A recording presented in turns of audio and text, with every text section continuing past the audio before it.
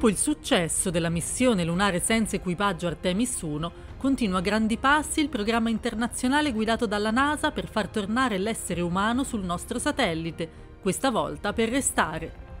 Di recente, l'Agenzia Spaziale statunitense ha stabilito i potenziali siti di allunaggio vicino al polo sud della Luna per le prossime missioni con equipaggio di Artemis. Continuano intanto gli studi per lo sviluppo delle future basi lunari permanenti. Una proposta molto interessante per la costruzione di habitat lunari giunge dall'azienda austriaca Pneumocell, che ha sviluppato un concept chiamato Pneumoplanet. Si tratta di un habitat lunare gonfiabile che potrebbe ospitare fino a 16 serre e 32 astronauti. Struttura gonfiabile ultraleggera, pneumoplanet ricoperta di regolite, il che permetterà l'autosufficienza dell'habitat per quanto riguarda la produzione e il riciclo di ossigeno.